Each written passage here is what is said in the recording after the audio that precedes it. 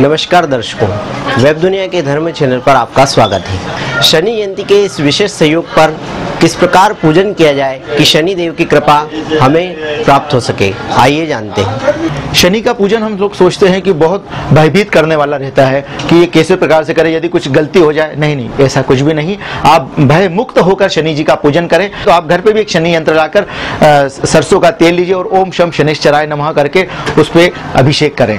थोड़ा सा कुमकुम चढ़ाएँ, हल्दी चढ़ाएँ, अक्षत चढ़ाएँ, अपने जो सुविधा अनुसार दक्षिणा है, वह शनि जी के वहाँ पर चरणों में दान करें।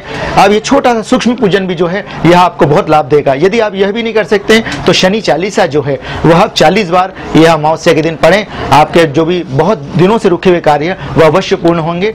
यह भी, यदि ये भी कार्य आप नहीं कर सकते तो दक्षिण मुखी हनुमान जी के मंदिर जाएँ। वहाँ पर शनि चिरंजी का प्रसाद चढ़ाएँ। शनि की कृपा आपको बहुत जल्दी प्राप्त होगी। जय शनिदेव।